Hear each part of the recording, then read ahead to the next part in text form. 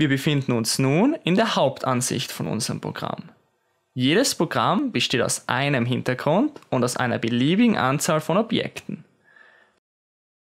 Das kannst du dir so ähnlich wie bei einem Theaterstück vorstellen. Der Hintergrund ist die Bühne und jedes Objekt ist ein Schauspieler. Oder auch als Fußballspiel. Der Hintergrund ist das Spielfeld und die Spieler die Objekte.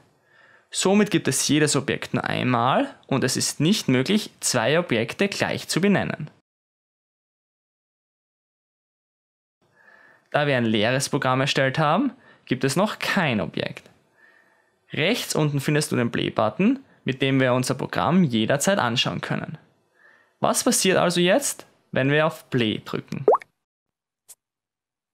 Genau, da wir noch nichts gemacht haben, sehen wir nur einen leeren Bildschirm. Mit Tippen auf Zurück kommst du zur Steuerung unseres Programmes. Hier können wir unser Programm neu starten oder wenn du auf Zurück drückst, kommen wir wieder zur Hauptansicht. So viel zum Aufbau von Pocket Code. Zeit unserem Programm Leben einzuhauchen.